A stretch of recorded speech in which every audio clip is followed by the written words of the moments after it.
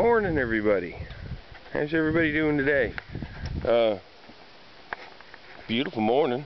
A little bit cloudy this morning, but uh, decent morning. Said it's going to rain today. We need, uh, desperate need of rain. It's been two months now of beautiful weather, but we're getting dry. I got dry patches on my lawn that I usually don't have until August. So it's calling for 15 or 20 millimeters of rain today.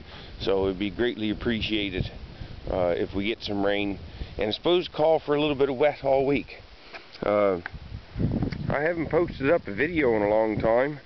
And for, I know some people who watch my site uh, are into apples and that sort of thing. So I thought I should do an orchard update since I probably haven't done one since last year. Uh, this here is, I was out this morning walking around and I thought I should do a video. This here is uh, white clover seed. And probably should have put the white clover out earlier in the spring, but it's calling for rainy weather for the next week, week and a half.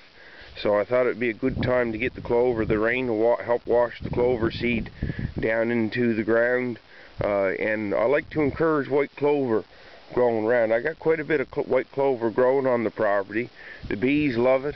It's good for the orchard. Uh, you don't have to mow it so much. This here's the espalier. If you see the espalier pear row, uh, they're really coming on good this year. I'm gonna have to in August I think do a little bud grafting. There's a few spots where I'm missing limbs where they should be. If you see down there on the bottom, I should have a limb coming out from the right. So I think I'll put, I'll try a, a little bud grafting. But growth has been really great. The top, once this here top matures out, you can see the tips are a little green right now. But as that top matures out, I'll tie those two both down to the top wire here, and that'll make my two top rows.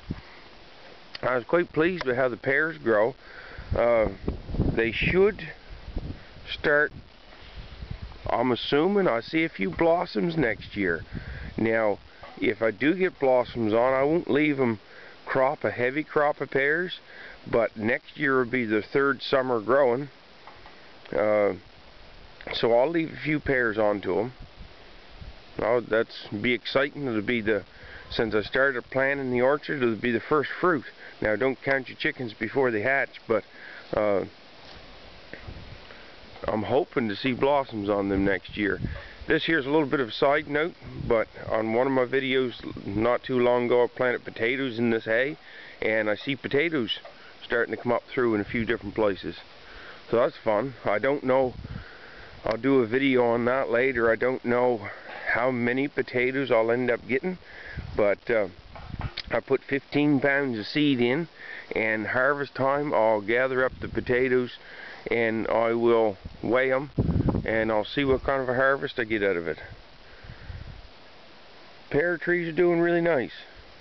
Uh, some of them I cut off a little shorter to try to get my four rows. If you see I got two good limbs there, two on the ne next wire. This here is growing up in a way nice and I'll have two limbs that I'll bend down and tie off to these wires. This is probably my worst one out of the bunch. I have a nice limb on the bottom, a good center section, and a good top row. Uh, but on the second wire up, there's nothing. And didn't look like anything was going to come.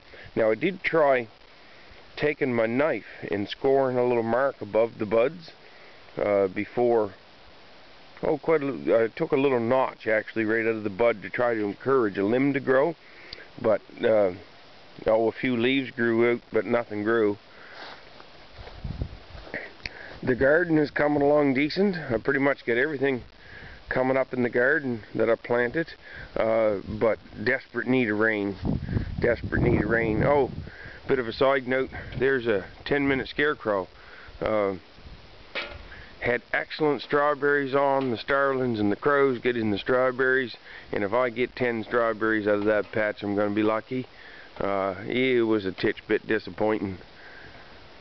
The garlic is doing great. It's just starting to put up scapes, but on the opposite side, I see some starting to wilt, and the tops are browning off a little quicker than I like, and I think that's all due to the dry weather. Now, down to the point that I was doing this video, this here's the orchard starting. I got some good growth on. Uh, these were all bench grafts last year. Some successes and some failures, but overall I'm quite pleased. Uh, and I think with any venture that you start, if you expect 100% from the beginning, you have a little unreal expectations. Uh, but you can see there's some good growth. They're coming up. Oh, on average, they're about hip height, uh, between knee height and hip height, so 24 to 30 inches. And now these are limbing out quite heavy onto the bottom and they're quite low down but I really just wanted to get growth on this year uh, and get the root system out and established. I haven't pruned much at them or anything like that. You might see where I maybe widened the limb out a little bit or something, but I really haven't been doing too much to them as far as uh, that almost looks like a little damage in there on that one, but I guess it's growing well. Oh, what did I have for failures? It's good to show successes.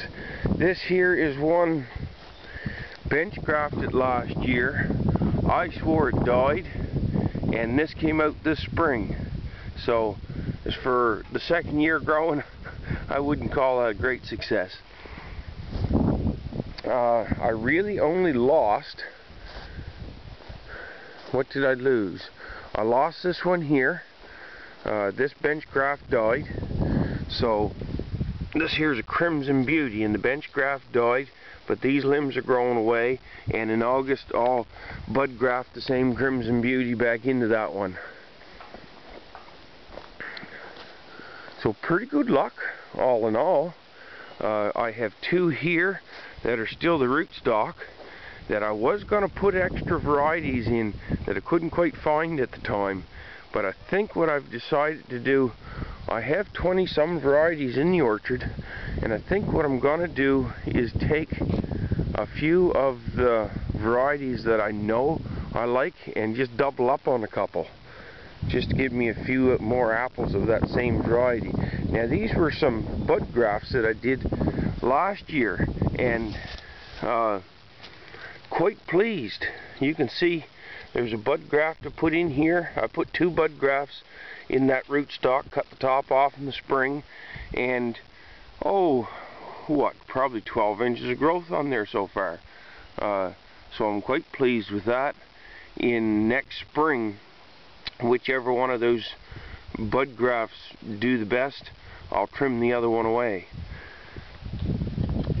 And I had one I had one over in the corner that died uh, I think that was a Prima, but I have some rootstocks that I'm starting in the garden, and I'll start a little tree away for a year or two, and then come back down and plant in that corner. Now that's a bit of a wet corner, not now because it's been dry, but normally a bit of a wet corner. So what I think I'm going to do is bring some ground in there and mound the ground up a little bit, and it may help them a little bit better for the roots. Uh, bit of aphids in the crabapple. That crab apple, I don't know what it is. Somebody gave it to me years ago. That thing must be seven years old, and it hasn't been doing nothing yet. It's infested with aphids and scab and every other disease known to a to a crab apple, and I think it's just a poor, poor variety crab apple. I think I'll start something else and probably pull that out and throw it away. Start something in there that'll grow a little better. I've been using a little bit of sulfur for scab control on the trees and that's about it. Haven't done much else. Now before this gets too long-winded, little shot of, the, shot of the garlic. Uh, you can see it starting to dry off on the tops a little. Fantastic garlic. There's a scape starting to send its way up. I'm going to try there's another one making the classic pigtail. Um, but I'm going to try uh, harvesting some, dehydrating, and then grind them into a powder. I think it was Dale that mentioned about dried garlic scapes. And I'm going to try that uh, as a homemade garlic powder. I think that'd be a great idea.